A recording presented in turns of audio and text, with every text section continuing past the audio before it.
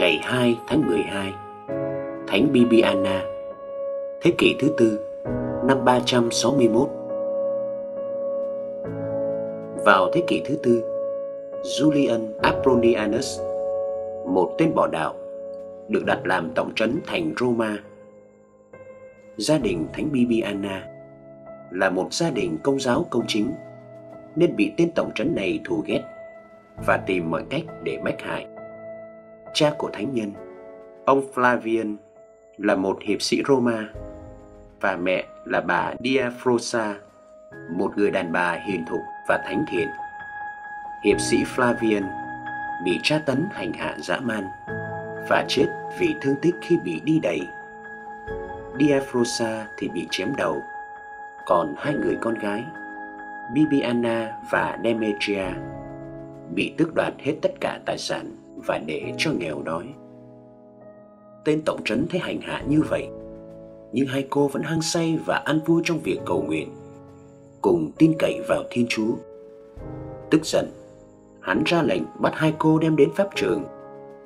Demetria công khai tuyên xưng đức tin nên bị giết ngay tại chỗ. Còn Bibiana thì hắn muốn hành hạ, làm đau khổ nhục nhã thật nhiều hắn mới thỏa lòng hắn bèn giao thánh nữ cho một mụ tú bà tên là Rufina.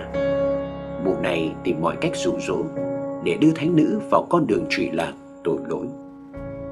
Nhưng thánh nữ cương quyết cầu Chúa gìn giữ trinh tiết của mình dù bị đánh đập tàn nhẫn.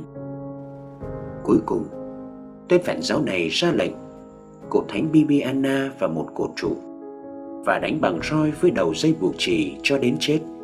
Năm 361 dù bị đánh đập tàn nhẫn, Thánh nữ vẫn vui tươi nhận những roi đòn.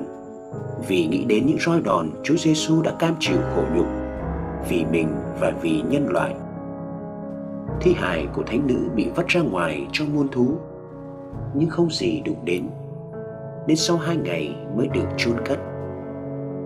Vào thế kỷ thứ năm, Một ngôi thánh đường được xây dựng trên mộ thánh nữ Để kính người và lưu giữ thánh tích trong một ngôi vườn có mọc lên một thứ cây thuốc có thể trị được bệnh nhức đầu và trúng phong. Năm 1624, kiến trúc sư La Bernin trùng tu lại thánh đường và tìm thấy dưới bàn thờ thánh tích của vị tử đạo chứa đựng trong hai bình thủy tinh. Trên mặt có ghi danh tánh thánh nữ